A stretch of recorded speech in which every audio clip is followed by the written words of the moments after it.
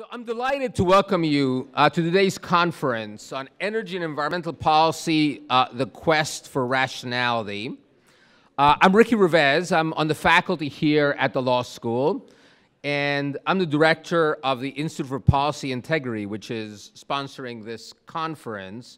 We have an annual conference, and this is what we're doing this year. Uh, as you'll see from the program, we have a really distinguished group of policymakers, advocates, and experts from around the country uh, who will shed light, I know, uh, on a wide range of topics. Um, you've seen the participants in the panel. You, we will have two keynote speakers, uh, Cass Sunstein, uh, the former OIRA administrator, and Gina McCarthy, the former EPA administrator.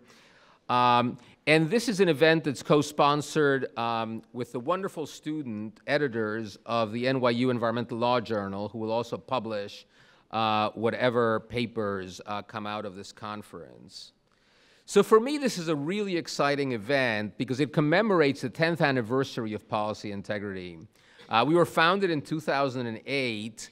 Um, it grew out of conversations that I had with Mike Livermore, Mike, where, where's Mike? Um, okay, well, uh, so M Mike was a student of mine, uh, and we wrote a book called Retaking Rationality, uh, How Cost-Benefit Analysis Can Better Protect the Environment and Our Health. And it was that book that uh, ultimately led to the founding of Policy Integrity. Um, it was a crazy thing for me to do because I was, I was the dean of the law school then. I was like really busy. But I figured there was such a compelling need for this kind of work that we should just go ahead and do it. And Mike was our executive director for five years uh, before he joined the Virginia faculty.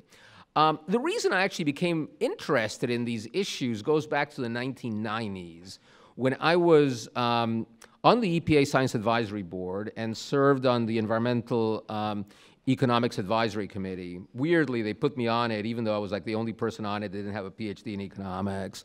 And, um, and we did uh, actually a really important document that in retrospect has been, has had a lot of staying power, which was we did the peer review for uh, EPA's first guidelines on the preparation of cost-benefit analyses.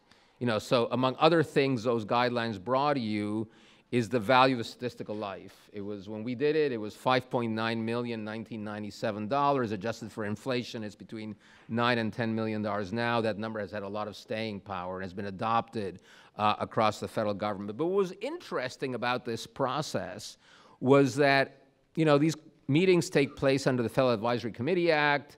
Uh, interest groups representing polluters were there all the time to make their presentations with you know, fancy and very um, sophisticated Washington law firms representing them. At that time, no environmental organization ever showed up to talk to us. Um, and, um, and so why was that? Well, I think part of it was, well, they didn't trust cost-benefit analysis and how to deal with it. They hadn't built expertise in that area, and these were very important decisions that were, that were happening. And a couple, a few years later, I was talking about a book at some program at the American Enterprise Institute that said something about this, and a hand went up in the back of the audience, and it was Sally Katzen, uh, who uh, said, oh, when I was OIRA administrator in the Clinton administration, I had actually had a similar experience. Um, industry groups would have been happy to come talk to me about methodological issues around cost-benefit analysis, but progressive groups never showed up. Um, and our thought was, um, this balance has to be righted. Um, and that's what the book was about. I mean, the book basically looked at sort of eight fallacies that had emerged because essentially the business of cost benefit analysis and of economic analysis of regulation had been essentially captured by anti regulatory academics and by um, uh, trade associations for uh, the regulated community. And it's not that they were doing anything wrong, they were promoting their interests, but there were other interests that also were relevant that were just not at the table. And when Policy Integrity was funded, our goal was to basically produce scholarship in this area, uh, was to participate directly in regulatory proceedings, um, to basically um, try to explain uh, how cost-benefit analysis done properly could actually support um, um, rational environmental uh, protections and health and safety protections, and also to try to create a community of people in the NGO community that did this and create some capacity building around that. And I would say that 10 years later, you know, we feel very good about how this conversation has changed. And every major environmental NGO has lots of expertise in this area, participates regularly in these proceedings.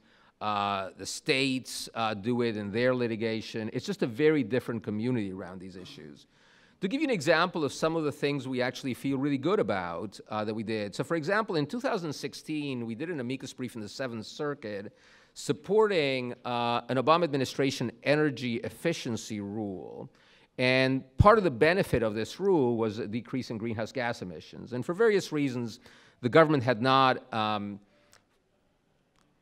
defended its use of the social cost of carbon uh, in a particularly um, robust way. It was sort of like an issue that was kind of lost in, uh, in the middle of a paragraph in some brief.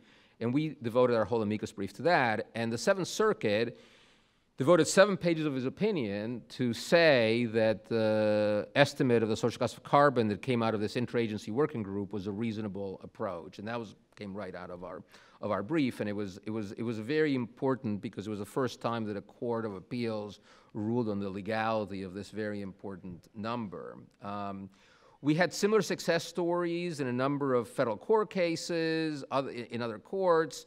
Arguments in our briefs have been uh, prominently discussed in both arguments and opinions in Supreme Court cases on, on important uh, environmental um, uh, opinions. Um, we, we are also, we've also in recent years had had real success in shaping um, energy policy in the states. Um, our input helped change the way that the New York State Public Service Commission evaluates resiliency investments.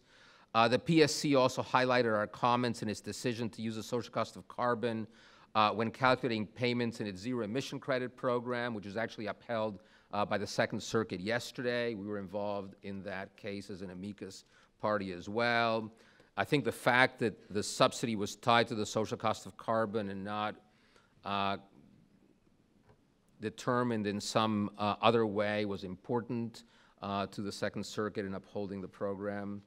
Um, we're very involved in efforts in a number of states to try to internalize um, the environmental and greenhouse gas consequences of energy production. Um, we participate in critical energy proceedings beyond New York State.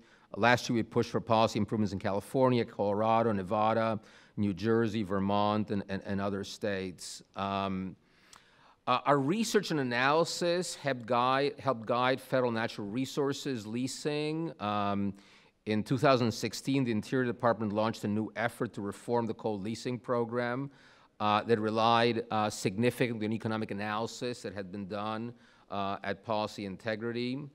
Um, our scholarship and advocacy uh, led the Interior Department to account for the option value of delay in its analysis of offshore leasing. This was actually a lawsuit we brought um, against the Obama administration for its failure to consider the option value, and, the, and we won this case uh, in the DC Circuit, uh, and it became then something that the Interior Department actually takes into account. Um, part of our contributions are in the um, in the academic area. So, for example, on the social cost of carbon, uh, a number of us at Policy Integrity uh, published a number of articles, including a couple that we uh, co-authored with Ken Arrow, the Nobel Prize winner in economics, providing sort of the analytical uh, support for the use of these kinds of measures.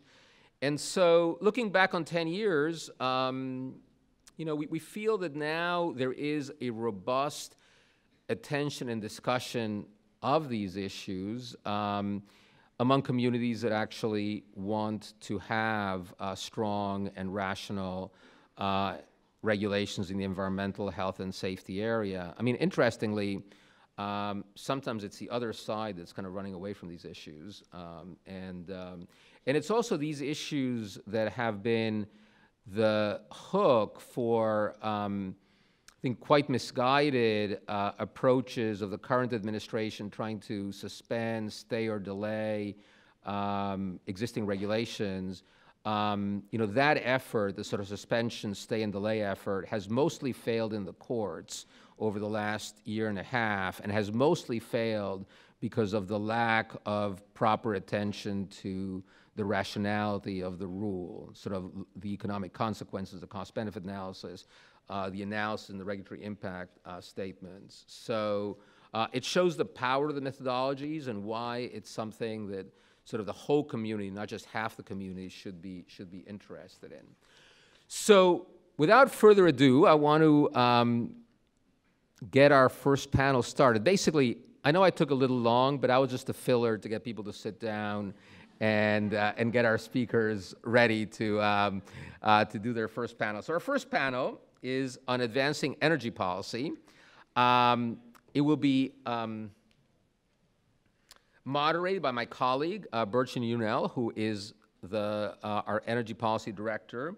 We have an extraordinarily um, uh, distinguished panel, uh, which I would love to introduce, but this is Burcin's job. And so I will ask Burcin and the panelists to come up so Burcin can introduce them and we can get started. Uh, thank you so much. So throughout the day, if you need anything, reach out to me or my, any of my policy integrity colleagues. We're really delighted that you're here. Well, thank you, Ricky, for the introduction. Where did he go? Um, sorry. Thank you, Ricky, for the uh, introduction. I'm uh, delighted to be here, and thank you all for coming. Um, the, the, as Ricky mentioned, policy integrity does a lot of work, and participate in we participate in uh, proceedings both in front of uh, FERC and uh, public service commissions in, in variety, variety of states. So I'm very excited to be talking about energy policy. Um, as you all know, the title of our conference is uh, Energy and Environmental Policy, the Quest for Rationality. So in this first panel, we're going to be talking about how different jurisdictions and regulatory roles advance energy policy using uh, rational decision making. We have a fabulous panel, and I'm very excited about, uh, about their panel. They represent different roles and the kind of different jurisdictions and different uh, authorities. So I am very happy to hear what they have to say. I will not go through each of their uh, bios. We all know that they're very accomplished uh, people, but I'm very excited to be introducing you first Cheryl LaFleur, a commissioner at the Federal Energy Regulatory Commission. Uh, then I have Kathleen Frangione, who is the Chief Policy Advisor to, at the Office of the Governor of New Jersey. And last but not least, we have Andrew Place, who is the Vice Chairman of uh, Pennsylvania Public Utility Service Commission. Um, so thank you all for coming, and I'm very excited about this panel. Before starting with the panel, a few housekeeping uh, items. Each panelist is going to talk about the 15 minutes, and then we're going to have 30 minutes of discussion, questions, and answers. I'm going to take questions from the audience, but you have to write it down and pass it around to our policy associates and uh, students uh, walking around. Uh, I will compile them and ask as many of them as, as possible. And the second important announcement that I have to make is about ex parte communication rules. There are a few open dockets in front of FERC, so we cannot get into specific discussions about some of the issues. I know some of us would love to talk about MOPRs and FRRs and various you know, acronyms in the FERC space, but uh, if we do that, Commissioner Fleur will have to leave, and you know, that beats the purpose of uh, us having her here. Um, so uh, with that, uh, we're going to start from the federal level and move to the sta uh, states. So I would like to invite Commissioner LaFleur.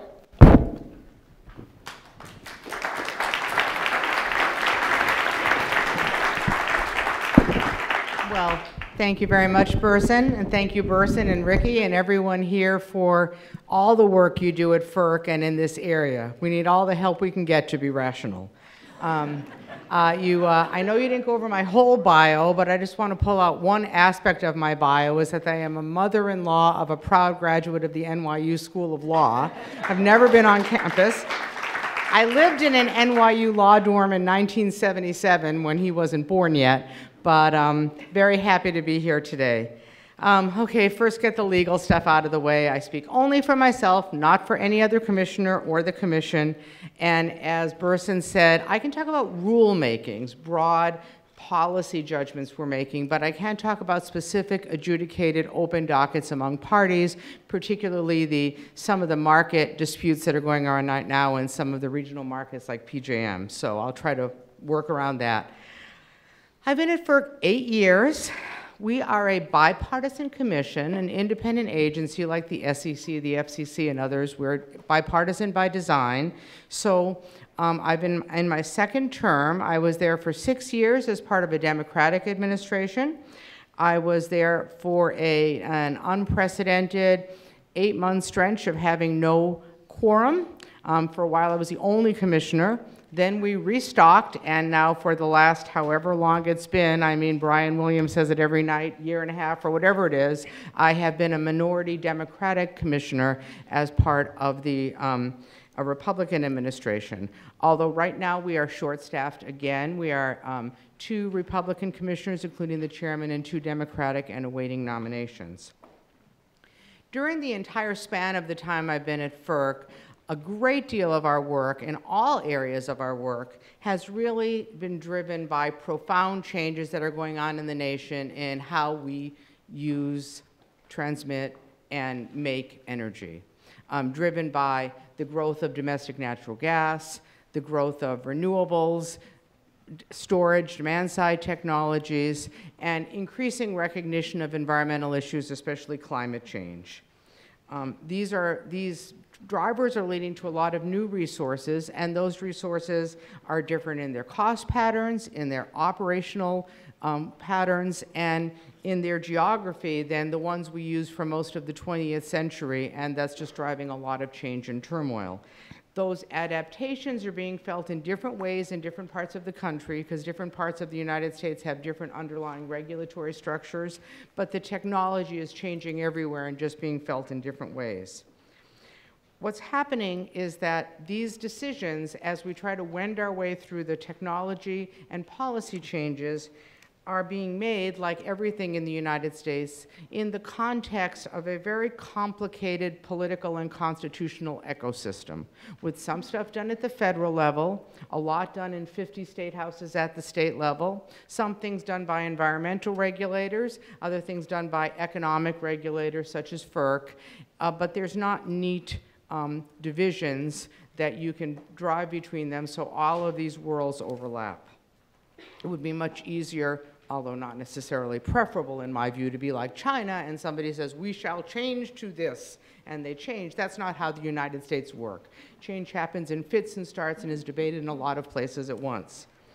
At FERC, we're primarily an economic regulator but our work is strongly shaped by environmental choices that are being made at the federal and state level. I would note most of this panel, because of Burcin's expertise in this area, is going to be more in the market and um, resource choice issues. But we are an environmental regulator for one piece of our work that NYU and this institute have been very involved in, which is our infrastructure work. When we are issuing permits to gas pipelines and liquefied natural gas facilities, we're the lead agency under the National Environmental Policy Act, so we do the environmental review. And right now, sorry, uh, there's been quite a lot of debate, um, very heated and right in the moment, on how we take into account, if and how we take into account um, indirect climate impacts of gas infrastructure in our permitting decision making. And I'm happy to go there if that's where people want to go in the questions. I know that's not what this panel is about, but in that case, we're economic and environmental because we're doing the NEPA work. So yet another complexity. On all of the issues before us, our job is to apply the, we're a creature of statute, apply the laws that govern us. Some of them are quite elderly, the Federal Power Act and the Natural Gas Act, um, but have been overlaid with years of precedential interpretation in the courts and at the commission, apply those laws to the factual record before us.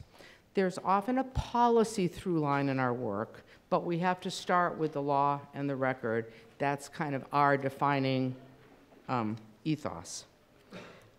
A big issue that we've been confronting for the last couple years, and we have the states before us that are um, in many ways at the center of that, is uh, how to reconcile the wholesale interstate regional market structures in the United States, with individual states making different direct governmental selection of energy resources for policy reasons. This is especially acute in states like Pennsylvania and many of the other middle Atlantic states and, and the New England states and New York, where they deregulated the underlying generation, and, um, and New Jersey didn't have quite the same deregulation, but that where they deregulated the underlying ge- um, generation, went to a market structure to get new generation built, and now um, they've been operating in these big regional compacts and have states choosing specific resources.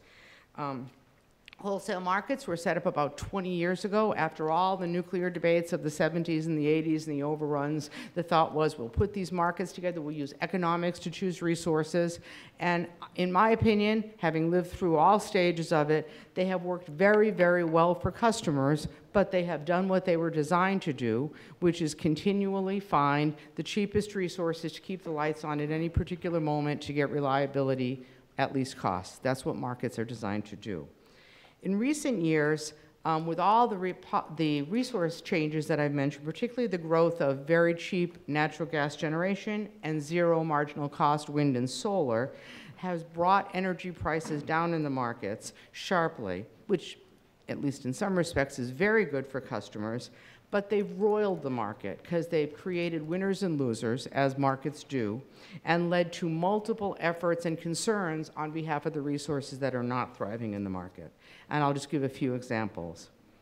At the federal level, in the Energy Department at the White House, the Trump administration has been open about its desire to ensure the success to subsidize older, uneconomic baseload coal units that are challenged in the market and would otherwise retire. Um, other baseload generation as well, but a lot of the heat has been around coal. In the states, in several of the states, New York, New Jersey, Illinois, Connecticut, have been looking to subsidize uneconomic nuclear units for various state policy reasons, both clean energy and jobs in many cases, most often through requiring um, distribution level electric customers to pay resource specific credit to those units. Many other states, including some of the same ones, but I'll call out Massachusetts, New York, and New Jersey, are running very large procurements for designated resource, particularly offshore wind, um, on strict timelines to meet various clean energy goals, and seeking forward assurances that those resources will be accepted in the market or they won't have to buy um, duplicate resources. Since 2016, with the abdication of federal uh, actions on climate, the state actions have only accelerated, and I expect that trend to continue at least for the next few years. We're seeing more and more of the action at the state level, and that's causing more of this rub between the regional structures and the states.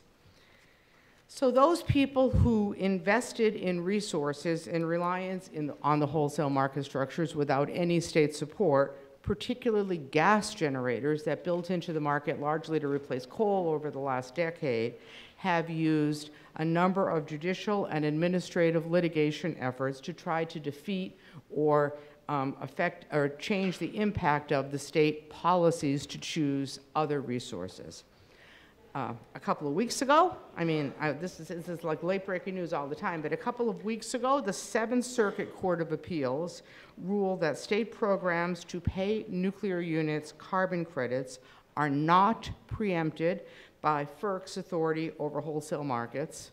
And yesterday, the Second Circuit agreed, in a longer opinion, um, said pretty much the same thing as the Seventh Circuit that those programs are not preempted.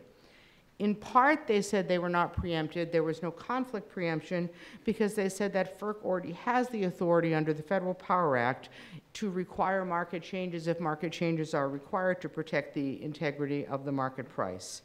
Um, that is what the U.S., on behalf of FERC, had argued in the amicus brief at the Seventh Circuit that we had the market authority already, so there was no preemption. So it calls to mind the Confucian um, saying of beware of what you want you may get it. So now these cases are squarely at FERC to um, figure out what's been in litigation for a couple years. My personal goal has been to adapt the markets to meet state objectives while still attaining market um, benefits for customers. I think the markets have done a good job for customers. I think if we're going to get rid of them, we should do so in a very deliberate and thoughtful way with everyone involved. I'm concerned about unplanned re-regulation if we just kind of chip away at them everywhere. I would far rather have a thoughtful market design solution at a regional level, and that's what I've been pushing. So the different regions have come up with different plans. Um, in New York, not so far from here, well, actually, we are in New York. I'm looking at Kathleen and think I'm in New Jersey. In New York, where we stand. Um, they have chosen the Economist Plan A, direct carbon pricing in the energy market. Um, they haven't done it yet, but they're on a path to do it. And this is in addition to the regional greenhouse gas pricing, which is much lower. This would be um, social cost of carbon derived in some way, carbon pricing in the energy market that they're talking about. It is the most market compatible way to set a clean energy or a carbon tar target and then use markets to meet it to make sure you meet it in the most efficient way. And it would kind of, you could still run the market because it's already monetized um, by the whatever carbon price you use. And they are working toward that, you know, and at some point we'll be filing presumably a new market structure, undoubtedly not unanimous for us to consider. But um, economically, whether it's going to be the right policy decision depends on a lot of things, but it is what economists have been calling for, use a monetizable value to achieve clean energy goals. Up in New England, where I'm from, um, they've been dealing primarily with the issue of forward procurement of big um, swaths of clean energy that was not selected by and would probably not be selected economically in the market, particularly Canadian hydro and offshore wind. And there, the market up there, the independent system operator of New England, came up with a plan to kind of run a second auction, a second market auction. After you choose resources, then you do a forward procurement and you can replace some of the others. It's an attempt to use market structures to choose the best of the clean resources without um, affecting the pricing of the people who aren't subsidized in the market. Um, it was approved by FERC in June on a very controversial split vote. I voted for it. The three people who voted for it are at the moment still at FERC, but it's pending rehearing. I think that's right. Yes, the three people who voted for it are still at FERC. Um, but that um, is pending rehearing and is, has a lot of controversy around it. Most controversial of all, down in PJM, which used to stand for Pennsylvania, Jersey, Maryland, if you want to know where it is, but now it has 13 states. Um, they have been dealing, they have forward procurements too, but a lot of the energy has been around the payments to subsidize nuclear units for their carbon-free properties. And um, after spending a couple years trying to come up with a market redesign proposal that would accommodate those efforts, PJM was unable to do so, filed two proposals at FERC and say, here's two ideas, take a look at these, see what you think. Um, FERC rejected both of them and came up with its own, which was basically an approach to take subsidized resources out of the market entirely and kind of subdivide, subdivide the market. Um, both of the Republicans who were on the commission, wait a minute, both of the Republicans who were still on the commission voted for it. Both of the Democrats who were still on the commission voted against it. I voted against it. And um, it is now pending. The filing is due next week, and that is sure to be a very, very hot topic at FERC this winter. Um, as far as uh, the federal efforts, uh, last fall, FERC made a rare appearance out of our energy press into the world press when uh, Secretary Perry proposed a rulemaking. There's used some part of the Federal Power Act that's almost never used to propose for us to directly order subsidization of the baseload units if they had 90 days of fuel on site. And um, after a lot of sturm and drang, in January, FERC I'm happy to say unanimously rejected that. And, but we started our own docket and said we're going to look at this ourselves and see if there's anything we should be doing on behalf of those units that have um, resilient qualities as the administration had asserted they were worried about. That is still pending. We have gotten thousands upon thousands of comments from everyone on all ends of the spectrum, and it is pending before us. In the meantime, the administration has talked about using emergency provisions of either the Federal Power Act or the Defense Production Act to still pay the coal units directly.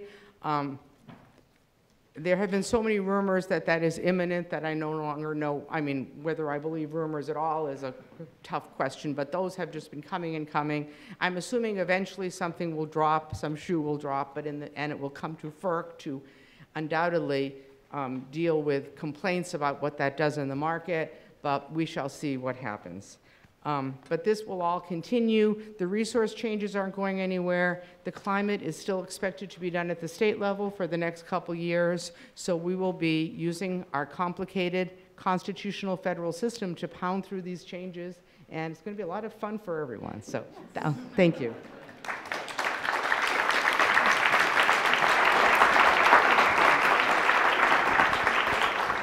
Thank you, Commissioner. I'm, as an economist myself, I certainly cannot stop smiling when somebody mentions carbon pricing, so I'm very excited. Okay, next up we have Kathleen Frangione, who is the Chief Policy Advisor uh, to the Office of the Governor for the State of New Jersey. Thank you so much. Um, Cheryl, it's amazing how exciting energy markets can be. I mean, this is, um, it's a pretty wild time. um, uh, it's great to be here.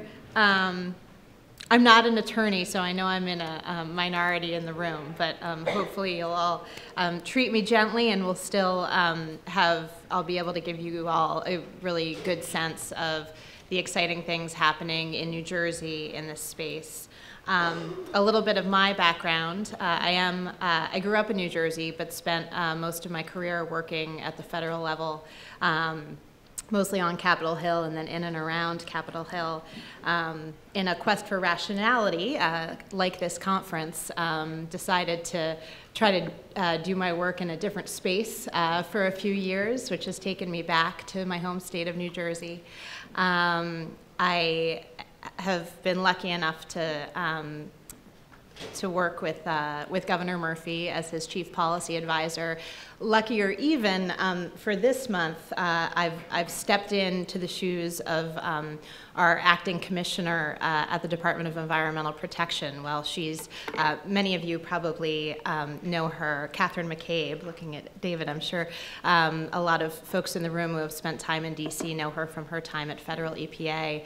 Um, she had to uh, take a month's absence uh, to deal with some family issues. So I'm lucky enough to speak to you today, not only from the vantage point of Governor Murphy's um, policy office, but also with a little bit of um, expertise imbued from our um, excellent colleagues at DEP. So um, hopefully that will all serve um, useful for our conversation today. Um, I don't know how many of you are, are, following developments just to our south, so I thought I'd run through um, kind of uh, the highlights, as it were, of um, what we've been up to um, since Governor Murphy took office in January.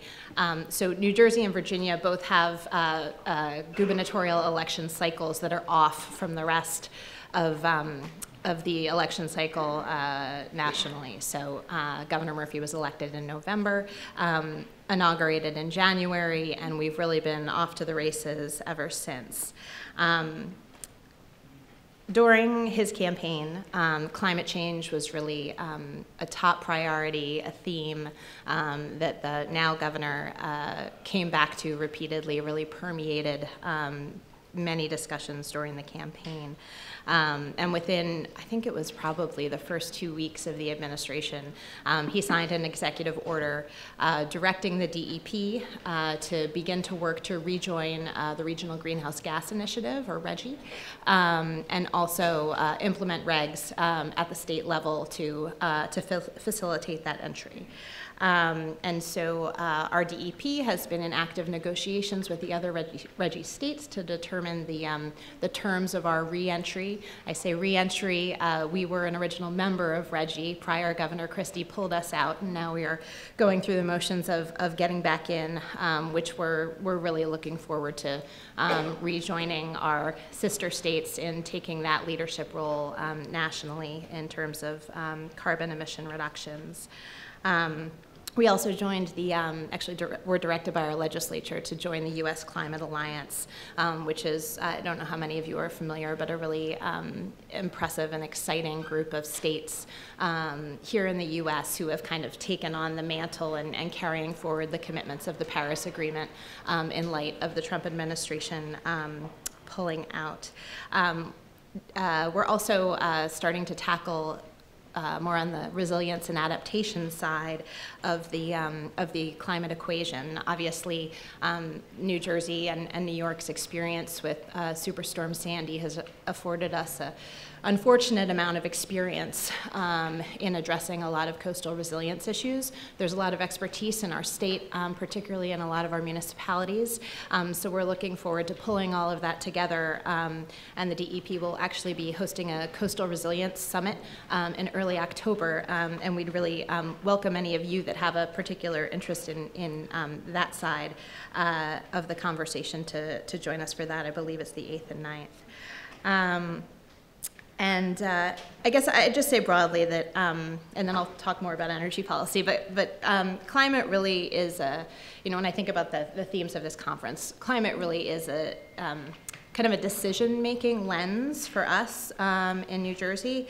Um, and we're trying to be very thoughtful of how we make any number of decisions um, to really consider uh, our, our impact on climate change um, and our ability to mitigate climate impacts. And it really does imbue our decision making. It's not to say it's, it's always going to be the only consideration. Obviously, there are a number, number of other um, top priorities that we're focused on. I'd say, you know, prime among them really is um, kind of what, what we like to to call uh, inclusive economic growth. Um, New Jersey, uh, unfortunately, has not really um, benefited from the growth the country has seen uh, writ large over the last, um, really since, since the recession.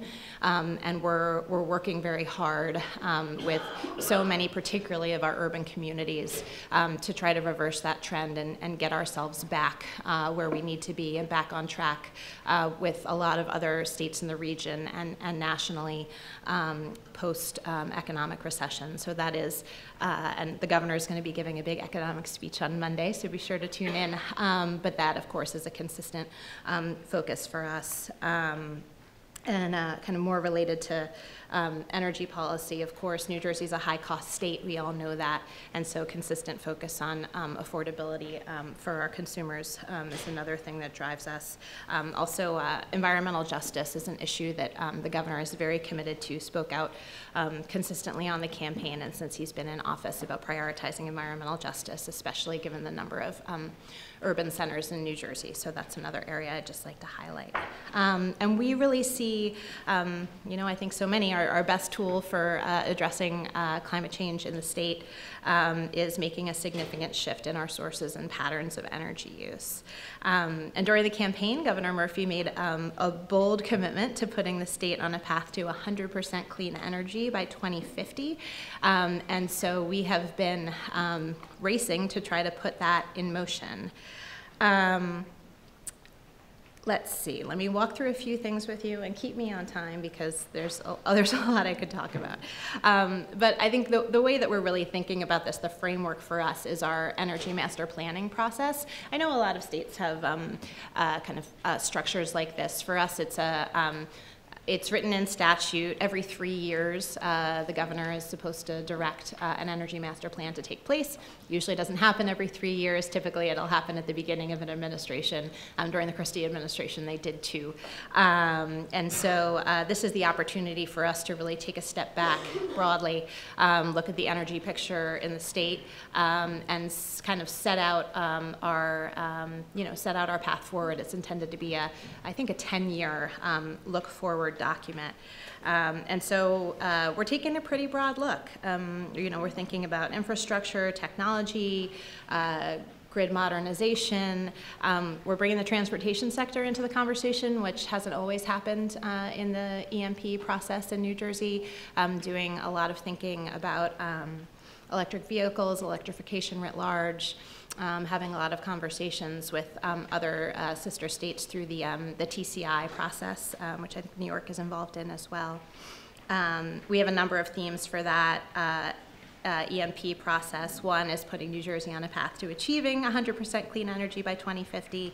One is growing our clean energy economy. One is ensuring reliability and affordability for all our customers, uh, reducing the state's carbon footprint, and advancing new technologies for all New Jersey residents. Um, that's the that's the frame for our effort. We're in the middle of a um, extensive uh, kind of public engagement and public comment process, which all of you would be welcome to join us for. I think there's a few more weeks left uh, for comments. Um, we're really looking to get kind of the best thinking and the best input from all corners. Um, so um, I don't know, Burcin, if uh, if you all are tracking this, but we'd love to get some insights. Um, terrific, terrific. but it's a, it's an exciting opportunity for us to really um, take a hard look at, you know, kind of all of the big energy questions that we're discussing here today and try to set ourselves on a path forward. Um, and we really do hope it'll be um, an exciting stakeholder process, if such a thing exists, and um, that we'll really get a lot of uh, good input and have a good product that'll rationalize a lot of um, decision making uh, in the state. Um, so that's, uh, that's one major activity that we're moving forward on right now. Um, the second thing to talk about, and Cheryl mentioned this, um, is offshore wind. Um, New Jersey is, uh, I mean, we know that Massachusetts is doing a lot, and obviously New York is doing a lot, but we really see ourselves um, as, uh, you know, we hope to be in that um, leadership list of offshore wind states for the country. Um, we do have, we're kind of on um, strong footing statutorily, which is, which is helpful. Um, our Offshore Wind Economic Development Act was passed um, back in 2010 at the beginning of the Christie administration, and then basically nothing happened for eight years. So the good news, I mean, it's bad because there was no progress. The good news for us is that we do have a fairly firm statutory footing to work from, so we're able to move um, fairly quickly, uh, which um, has really worked to our benefit. Uh, about the same time the governor signed his RGGI executive order, he also signed one on offshore wind, uh, directing our Board of Public Utilities to move forward with every uh, authority that they have as swiftly as they can to put us on uh, a track to meet the 3,500 uh, megawatt goal that the governor had set out during the campaign. So we know that's a lot. Um, BPU started working on an offshore wind strategic plan. Uh, they issued uh, proposed OREC rules in July, I believe. Just last week, BPU put out the biggest solicitation in the nation for 1,100 megawatts of wind. Um, and the governor also directed BPU to put out uh, 1,200 megawatt solicitations in 2020 and 2022, which would get us to our 3,500 megawatt goal. So we are off and running.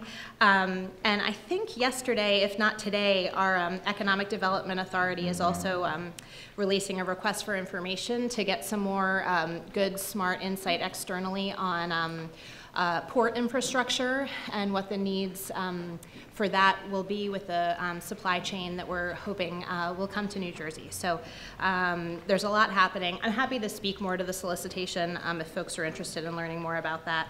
Um, we can do that during the Q&A. One thing just to note, again, to our rationality conversation is that one, one thing that's a little bit different about New Jersey's um, uh, requirements than you've seen in Massachusetts and some other places is that we do um, have a very robust net economic benefits test built in as part of our um, uh, determination process on these offshore wind solicitations. Um, the solicitations will need to include both an environmental protection plan as well as an economic development plan. Um, so that's um, a notable just difference from the way that some other states are pursuing theirs.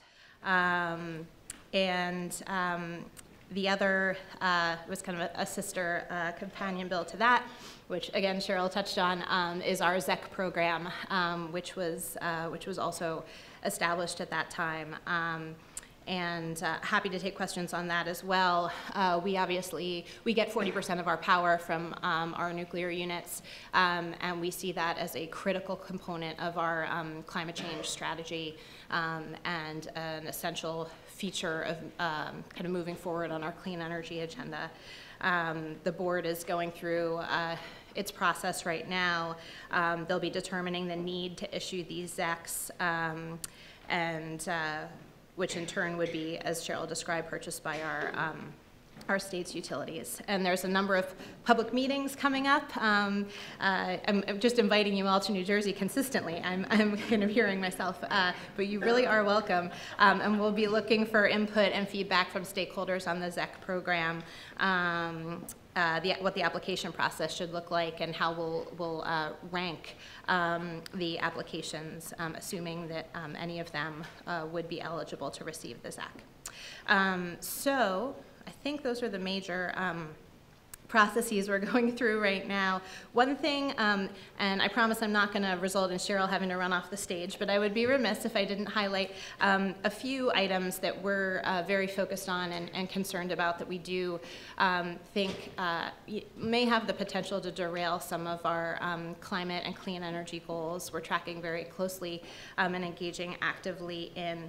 Um, one is uh, the capacity market reform proposals that Cheryl talked about uh, you know, active conversation, obviously, at um, at FERC and at PJM, um, we're very concerned about how those proposals might thwart states like New Jersey um, from carrying out their climate agendas and are, um, like I said, actively participating in those processes. Um, we also have a lot of concerns about current conversations uh, regarding transmission cost allocation um, and the impact of those decisions um, on electricity prices for New Jersey households. Um, so those are two I would flag. I was very happy to hear um, Cheryl speak to how um, she is urging those processes to be very deliberate and thoughtful. I think we feel the same way. We're concerned that, particularly on the capacity market side, some of this is going very quickly, and we want to make sure that um, there's a, you know, it is a deliberate process and that there's a real opportunity for um, states um, to be active participants in, um, in working through how these issues will be resolved. So um, thank you for having me. Look forward to the conversation. it's fun to be here.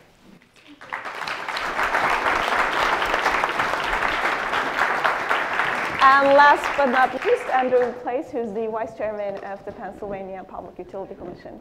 Thank you very much. Certainly a pleasure to be here. Uh, where to begin? Um, I will, since this is a CLE uh, credit, I'll try to bore you to tears. Um, and, uh, I have a host of things. 15 minutes is tight. Any, I have seven issues I was gonna, I'm planning on bringing up. Any one of them could be a day-long symposium. Um, some big things, some minutia, some just uh, venting my spleen, if I can quote Herman Melville.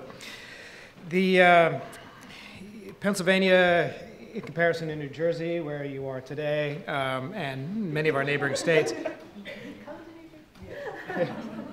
uh, close, close enough. I can hit it with a stone from here. I said your yes. Um, we're going to get uh, pulled from the stage. The um, uh, Pennsylvania is a tough political environment. I won't sugarcoat it. I may as well get that out up front. Um, but that said, there's a gubernatorial election coming up in five or six weeks. Um, Pennsylvania, by the numbers, uh, I think speaks to the complexity of our issues. Um, uh, we are a restructured state. Um, we have competitive retail market for uh, electricity and natural gas. The, uh, we're the largest net electricity exporter in the U.S. Put that in context. Uh, we export about 30 percent of our electricity generation. So exports to our neighbors, um, whether it's to our south, Maryland and New Jersey and New England, New York, um, that matters to our industry. Um, we're also the third largest electricity producer, period, behind Texas and Florida. We're the second uh, state um, for energy production, so everything from coal, natural gas, uh, et cetera. Um, we're also second in the nation for natural gas production behind Texas. Uh, it's often referred to as the proverbial Saudi Arabia, um, our shale gas production. So um, that, that is a 400 pound gorilla. Um, we're also second in the nation for nuclear production. We have 26 gigawatts of uh, capa- uh, nuclear capacity. So again, a big deal for us. Um, we're third, again, all right, another thing to hit our uh, complexity, we're third in the country for coal production um, which also brings us down to the bottom line. We're third in the country for CO2 production, and that's just stack emissions. Uh, I always bring forth that uh, we have to think about, particularly when we're thinking of natural gas, um, methane emissions, since it's a particularly potent greenhouse gas, uh, that we cannot neglect upstream emissions there, and I'll speak to that briefly as well. Um, giving you the breakdown um, on our generation, uh, we're pretty well balanced. Um, 30, almost 30% from natural gas, uh, 25% from coal, uh, 40% uh, generation from nuclear. Uh, we do have a um, renewable carve out. Uh, we're also, speaking of PJM, we're about 20% of all the generation in PJM, even though it's 13 states and the District of Columbia. Um, again, it matters. The, um, uh, we have a modest, and maybe that's a kind way of saying it, um, alternative energy portfolio standard. Uh, tier one, 8% by 2020. Tier two, which is a whole host of things, including waste coal in it, of 10% by 2020. But that's uh, consu- consumption, that's not generation. Uh, so first and foremost, um, these issues I did not rank in sort of any order. Um, there's no rationale for why I thought of these things and what, the way I did. But uh, um, again, thinking about natural gas and um, also thinking about my background in a way. I'm in some ways the, um, an accidental commissioner. Um, I was working in upstream oil and gas. I was a corporate director for energy and environmental policy at uh, arguably the largest independent in the Appalachian Basin, if not the nation. Um, and my task was to think about what risks are, cradle to grave, everything from wellheads to uh, uh, groundwater uh, risk to, um, so, to wells to VOC emissions from condensate tanks, um, to what are ultimate, are we displacing coal? What's the greenhouse gas? What's the 2030, 2040, 2050 horizon for greenhouse gas emissions um, from what we are producing and um, how that affects the market?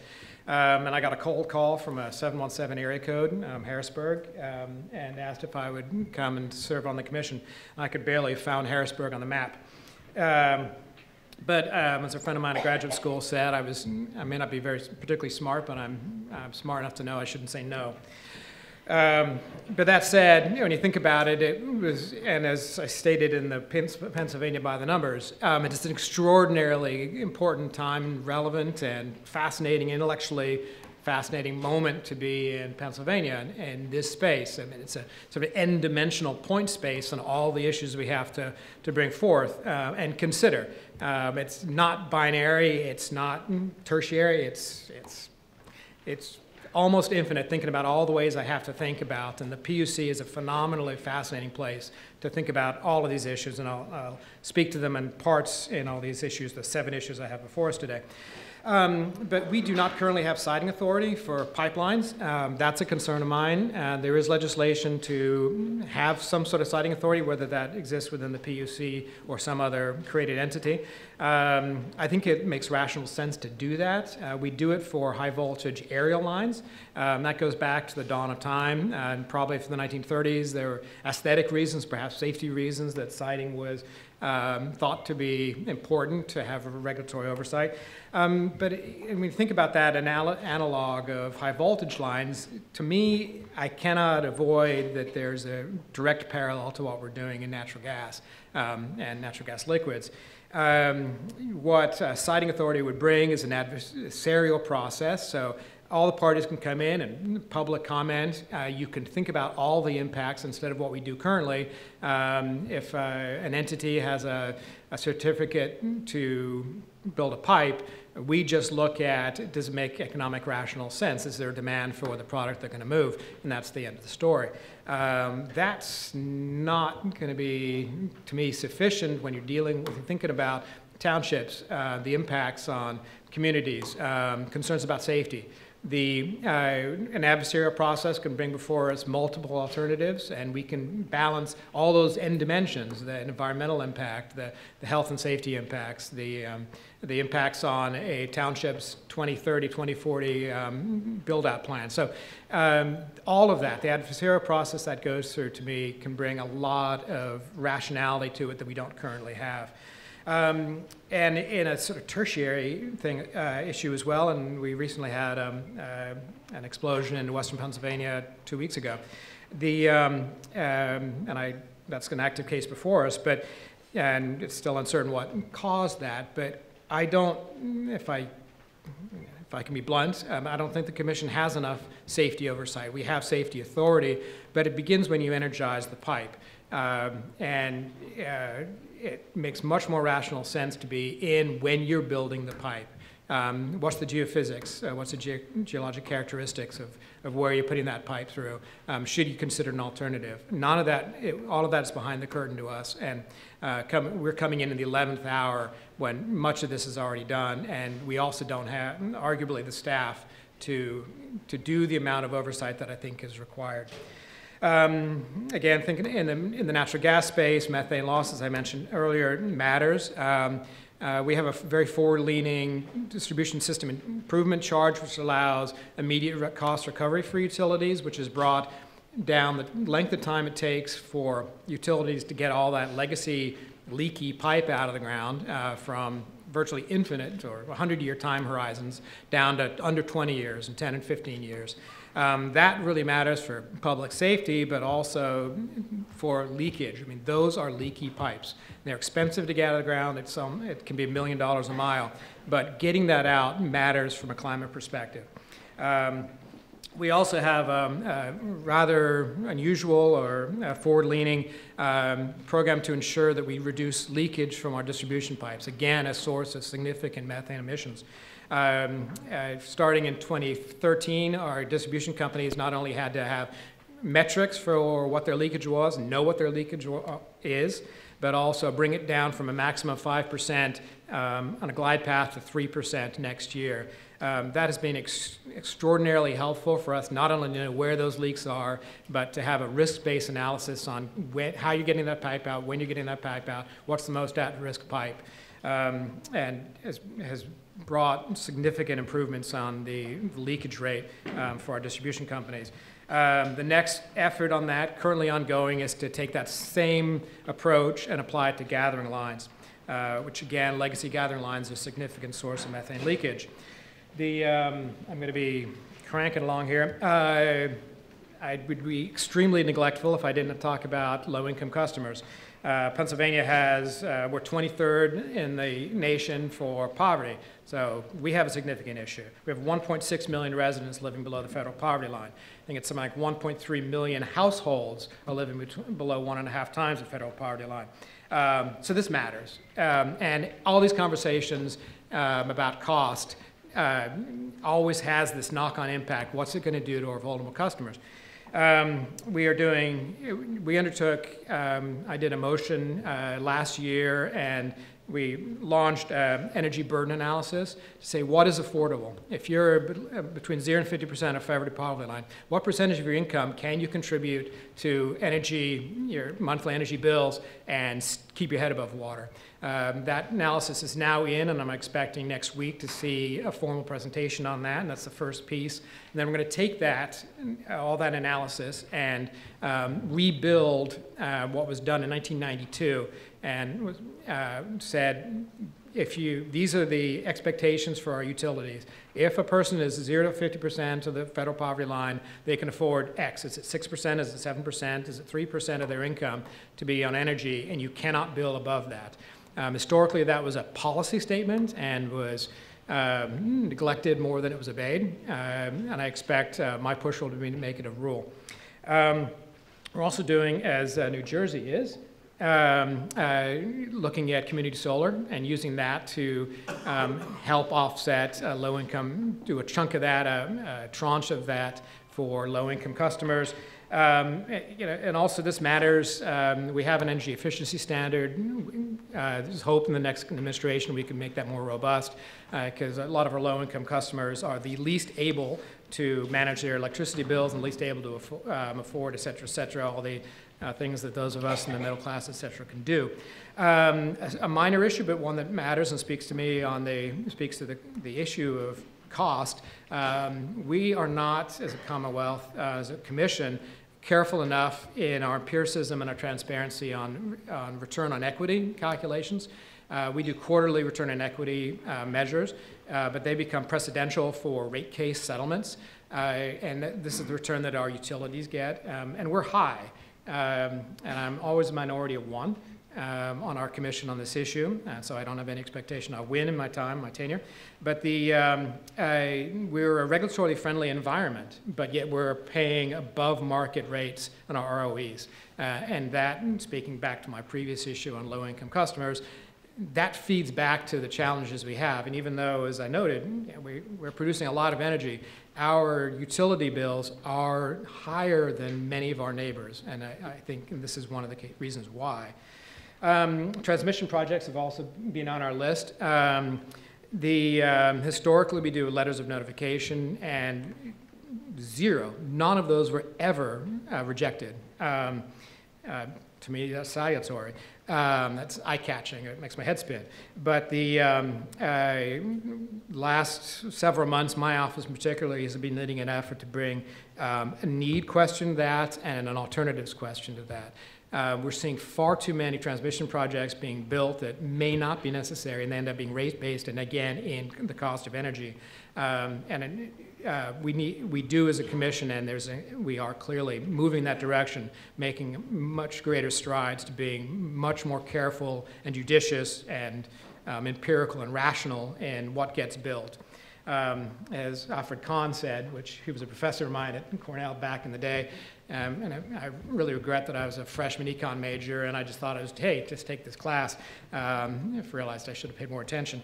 But the, um, uh, but if utility, if you let a utility, they build a pyramid, a great basic pyramid. So not to take a shot of our utilities, but we do, that's our oversight role. Um, so finally, and are we two more, one more minute? Okay. Um, the big issue, um, the question about uh, accommodating state policies and climate and, and so on, and has been mentioned um, uh, by two panelists before me. I mean, all the alternatives, thinking about how we manage um, this, this barrage, this incoming tide of state policies in, in energy or capacity markets, um, and all the rubrics, all the complexities um, out there, the, the FRR and the MOPR and so on. Um, the it, it matters, and to me, I'm always coming back to I'd rather, and I'll argue tooth and nail in Pennsylvania for a market price on carbon uh, for all the reasons we know, the elegance of it, um, uh, the, the, drive for innovation.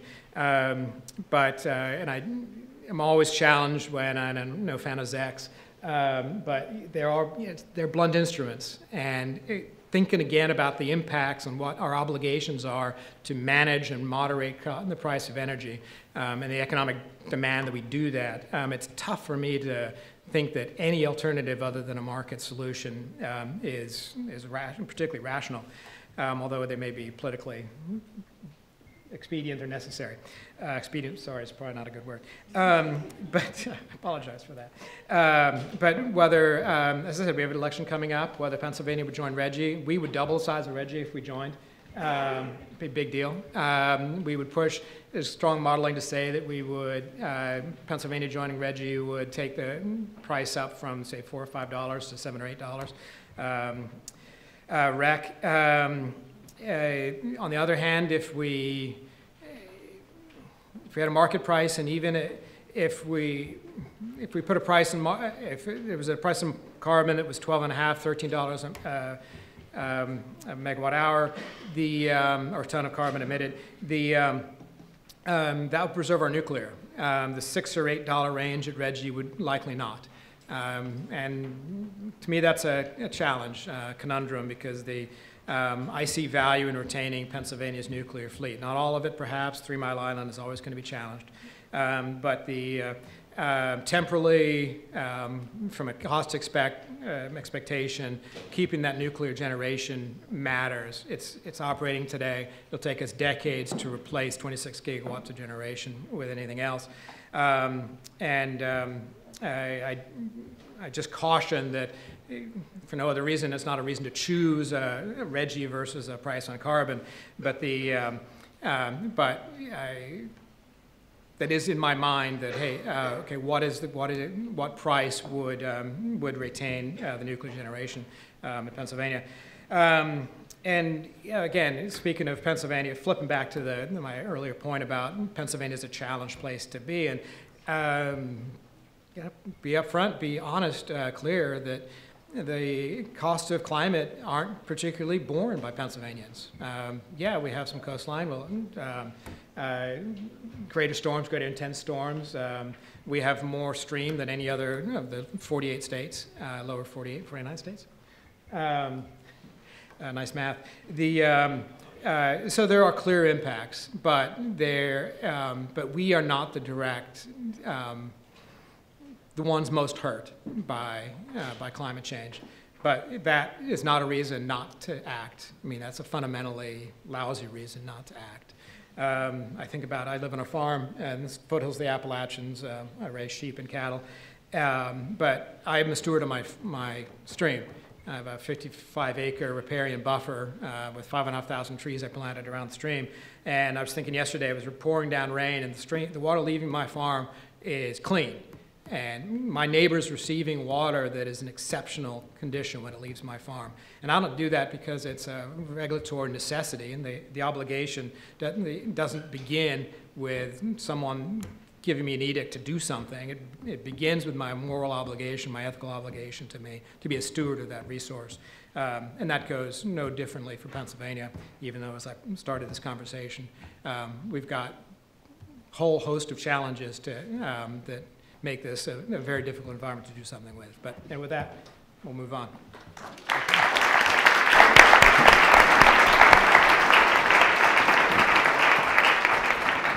Thank you to all of our panelists. As a reminder, we have people around walking uh, with index cards. If you want to ask questions, just write them on an index card and they will come to me. While you work on that, I'm going to start um, with a couple questions myself as uh, using moderator's privilege. So I want to kind of um, uh, pass this maybe slightly irrational times that we're, we're living, and I want to look forward and kind of think about the future of regulation. I think about you know, where the electricity regulation is going all the time. Um, many of you mentioned there are you know, a lot of uh, transformation happening in the grid.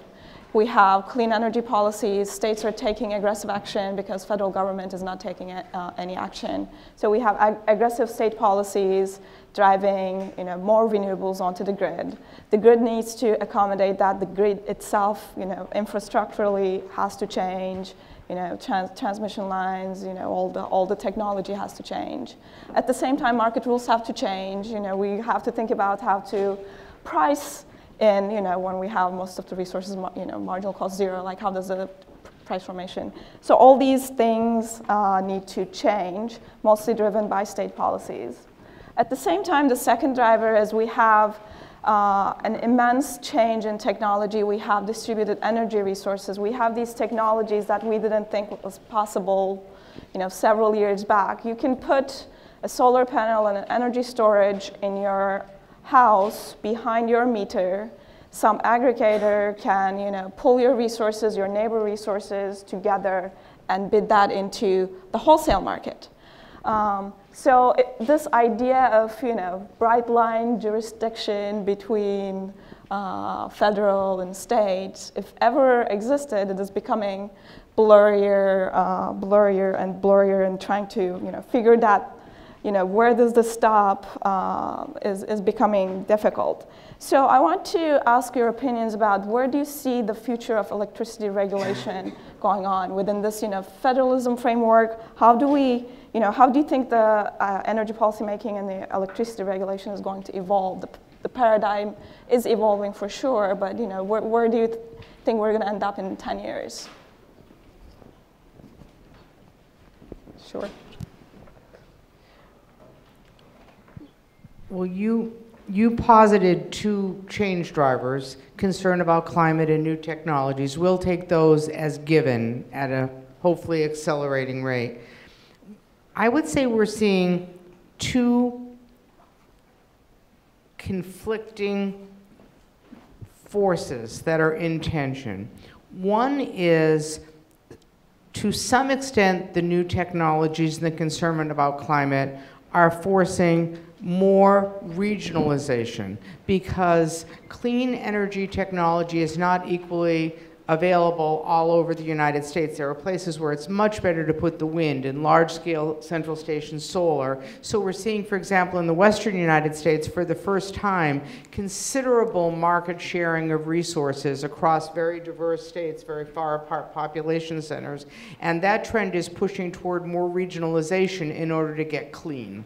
And we may see more of that in the, in the east when we start seeing more of the development of offshore wind as well, that sharing. And I think that requires a federal role, probably an expanded federal role in transmission siting from what we have now, if we're really going to decarbonize the way renewable, the Renewable Energy Lab and others have talked about. Um, you almost need like Abraham Lincoln and the railroads and Eisenhower and the highways to build a little bit more of a grid to do that. That's one big change driver. But the other is simultaneously we're seeing the deployment of um, more and more distributed resources, as you referred to, that collectively can operate like a power plant.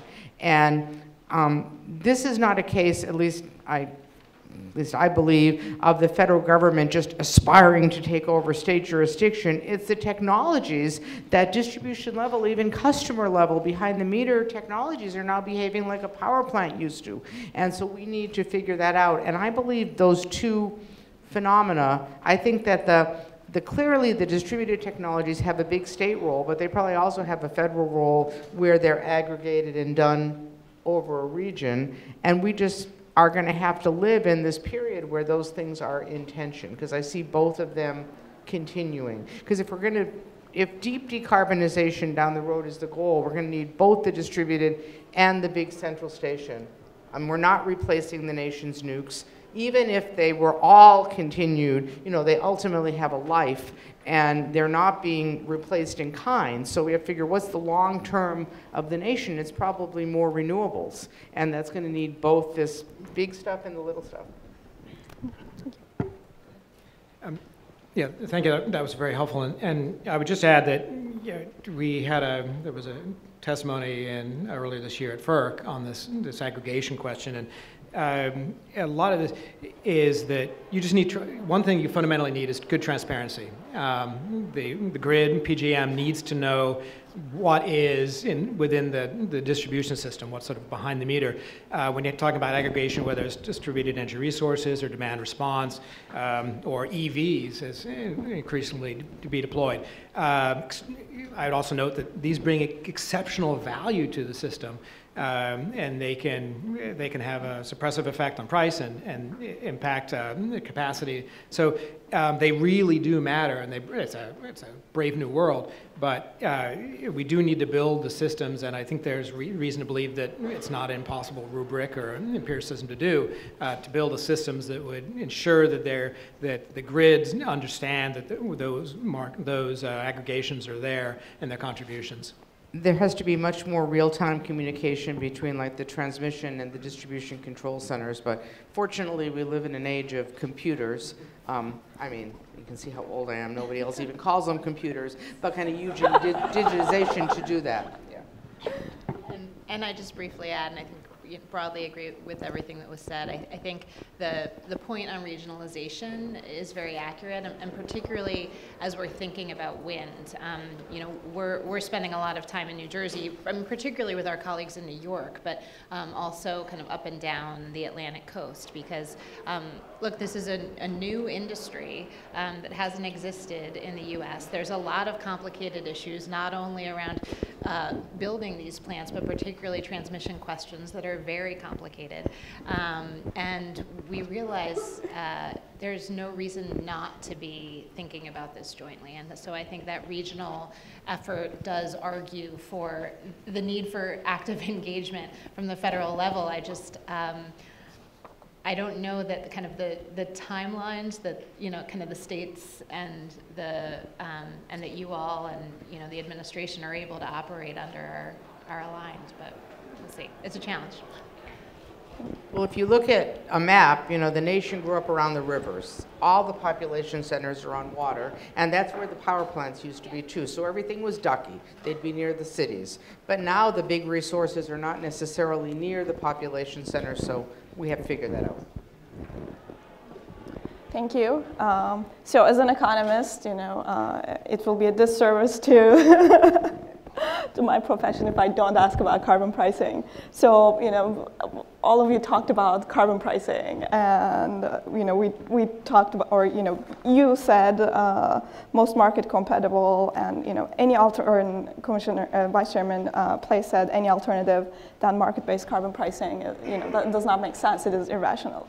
And we have a lot of economists in the room that says we need to price carbon. Uh, yet it has not happened yet. So my first question is, how do we make carbon pricing happen? You know, what do we do? Do, uh, do we start at the ISO RTO level? Do we, you know, do we do legal, uh, you know, more, you know, state level? How do we, how do we push carbon pricing? Uh, the follow-up question to that is, we know that carbon pricing is not going to happen tomorrow as much as we want. In the meantime, we have to uh, we have to deal with the second best policies like ZECs and you know other other policies. So uh, how how do we think about state policies that are second best yet they're kind of a you know hopefully a filler until we get to the solution that uh, economists have been suggesting for the past hundred years. No pressure. uh, well, I may as well jump in both feet. Um, hoping I'm not drown. Um, I think I'm an incrementalist by nature. Um, maybe Waxman Markey uh, was a salutary moment in my career where we looked for the holistic solution, the whole enchilada, and came up with empty hands. Um, and I, that was probably the epiphany for me that um, if we do this incrementally, piece by piece, uh, it's not ideal, and I lose a lot of sleep, understandably, that uh, well, whether we'll ever get to uh, a point that is um, appropriate, acceptable, um, and how long will it take us, and how much damage are we locking in before we get there. Uh, but that said, um, as a realist, um, I think chewing this up piece by piece, the, you know, the, the elephant one bit at a time, is maybe the only practical way. And in some ways, it's a good way. Um, you know, we, we, do see the states as good incubators of policy, and, uh, the, and also the, the realization that getting anything overarching is, is just it's just not going to happen. Just, I just, I just, I can't even wrap my head around the possibility. But, but also thinking about, you know, for us in Pennsylvania, we've got this, the 26 gigawatts of nuclear. Are we going to do something about it? Does that give us a moment to say, look, there's a disparate interest here, but can we find the majority to get to a solution that says, yes, we um, I want to do this for climate reasons, I want to do this for nuclear reasons, um, but we can, um, and we may come up with something suboptimal, but it's uh, the camel's nose under the tent moment. Um, and also thinking about what we could do with revenue. If we, if Pennsylvania joined uh, RGGI, you could argue that's $500 million a year. Um, and how do we funnel that, those revenues back? Do we argue they go to vulnerable customers, vulnerable energy intensive industry, um, as well as um, energy efficiency and other measures that would mi mitigate the impact of, of, of that action. So um, that's a package for, from my perspective that, that matters and trying to get one bit at a time. And as I said, it's maybe the only reason, way forward, even if it's a suboptimal option. I think there's two macro problems standing in the way of climate, uh, of carbon pricing. The first is that um, there is not national consensus that climate change is a problem. There is the opposite of consensus, vast debate on this. Um, now, I just got back from Alaska and I saw it with my own eyes, um, but if we as a nation said, hey, this is a big deal, we won World War II, we put a man on the moon, we can do this, we're going to roll up our sleeves and do it, but there, we're not there yet, and that's just the reality. Um, so um, that, if you want to know why there's not successful federal action, there's not a consensus among the parties that there's a problem, and that's a problem. That's number one. And then there's also, but I'd say that's by far the biggest problem because if there was consensus, even if the federal government came up with a crappy solution, they'd at least be doing something right. I mean, let's face it, it's not going to be, I mean, rational might be too much to hope for, but at least there'd be a consensus we're trying to do something. There's not even a consensus, it's a problem. I had a congressman say to me when I make a comment, I mean, in a hearing, you know, that you, um, there, we, ha- we have to do X, Y, Z, whatever it was, because Congress hasn't acted on climate change. And he, a very informed congressman on the energy, House Energy Committee, said, we did act on climate change. Not passing the law was our action. That's what we think. And I mean, it kind of made my blood boil, but it also was accurate that they acted. So that's problem number one, and that's a big one. Problem number two, which is also big but subsidiary, is as I said before, we have this complicated ecosystem. So if you see PJM with their 13 states, they can't even get the initials, the acronym stands to agree. Um, and they have their 13 states. One, some are like Kentucky and West Virginia, and others are like New Jersey and Maryland. And um, I guess, can we still say Maryland is one of the green states? Whatever. You pick your two that you think. And um, they're trying to come together.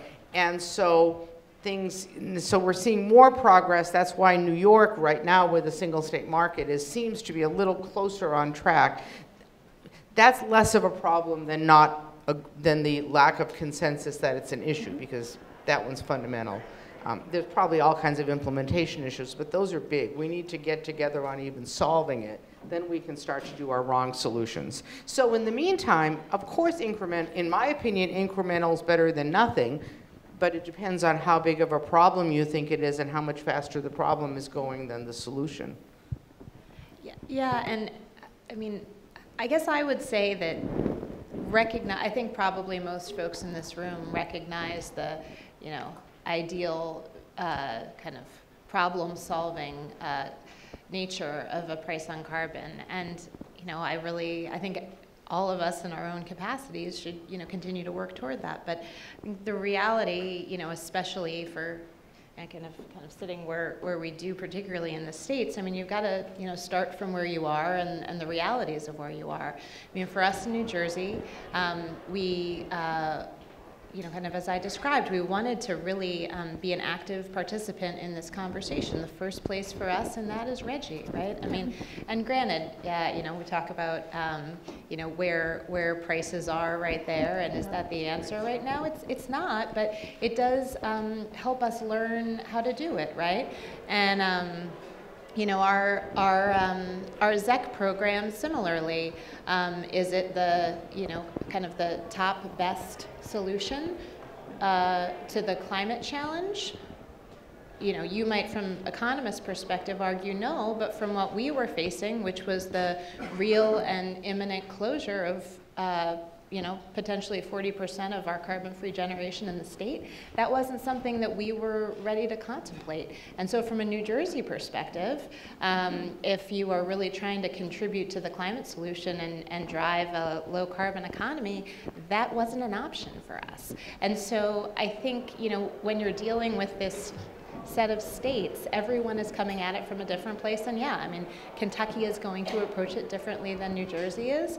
But to some extent, until we get to the point, which I just have to keep believing that someday we will, that you get that federal consensus, it does feel like it's going to be a bit of a coalition of the willing and, and an opt-in process. And, um, you know, we'll, we'll work to obviously grow that group as we go. But um, I do think that it's important to kind of meet states where they are um, and be able to recognize the, um, the best policy solutions that they can find to move the conversation forward. Thank you for that. So unfortunately, we're running out of time as much as I would like to keep you here all day. So I'm going to ask uh, a uh, lightning round questions. I'm going to ask three questions and just really quick uh, one uh, word or one, uh, one sentence answers.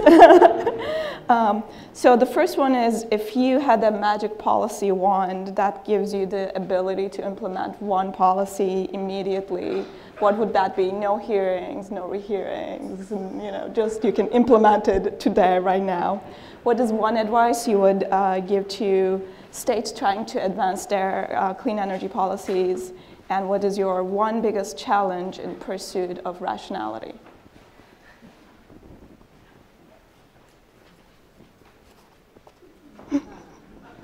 Should I call on people?